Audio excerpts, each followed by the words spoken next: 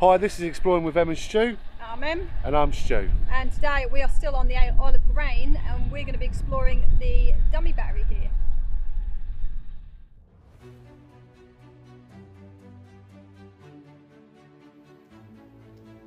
Originally completed in 1865 to support the two existing forts just to the north, Grain Battery, as it was originally called, was built to help protect the Medway River in Kent from invasion by the French and was armed with 9 inch rifle muzzle loading guns. In 1905, it was upgraded and renamed to Grain Dummy Battery, and two 4.7 inch breech loading guns were installed for use against torpedo boats, and a separate range finding observation post was added, along with a magazine and troop shelter. By the First World War, the battery was obsolete for river defence, but was rearmed with two 3 inch anti aircraft guns. It went out of use after the First World War. In the 1950s, the abandoned battery structure was severely damaged by demolition and excavation work around it, creating an almost moat like feature where the ground had been removed for materials. Unfortunately, this resulted in the loss of many of its structures, including the original magazine.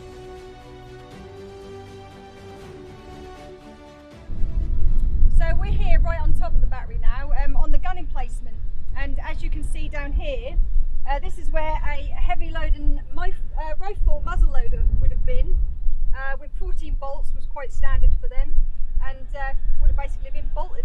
Uh, often you'd see chains, there's no remnants of them now but it was then replaced uh, and upgraded over the years by a few other guns as I would have already said. And um, just in the distance here, the reason why this was built was to supplement uh, Grain Tower, as you can see out in the Medway over there.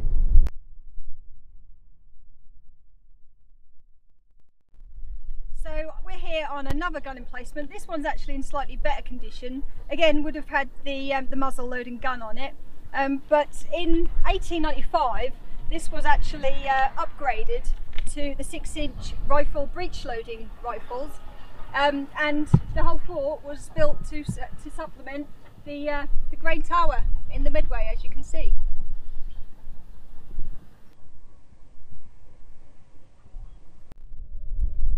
Okay, so in about 1905, uh, this battery was substantially altered, and they built this fire control tower, which was basically used to give direction uh, to the actual gun battery as to where they should fire out to. So we are now underneath the gun emplacements, and down here would have been the magazine, and they were used to store basically the cartridges and the shells for the guns. I imagine there would have been some sort of hoist or something along here, but uh, this place has been substantially demolished over time, and uh, and we can't see any remnants of it, unfortunately. But these two rooms, we believe, would have been magazines.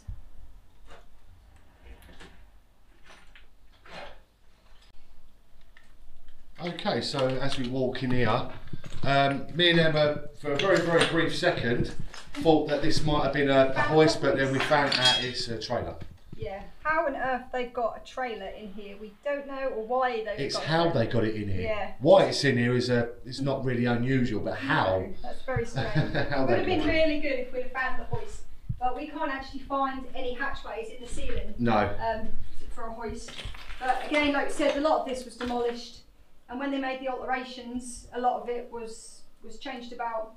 But it was also used uh, as an anti-aircraft sort of defence in World War One, we believe. So um, again, they probably demolished a lot of bits Yeah. and pieces. This is completely and utterly, as we're walking around, you can so see totally this was obsolete compared to Grain Tower Yeah. and all that. Like you, you can Yeah. see that this is I- just don't think that these, along with the wing battery just to the north, were used for very long at all. no, not at all. Um, but still, they're worth having a little look aren't they? So we'll have a little wander around, and I think we'll finish up this little video, this little information video. So, Yeah. okay, see you in a minute.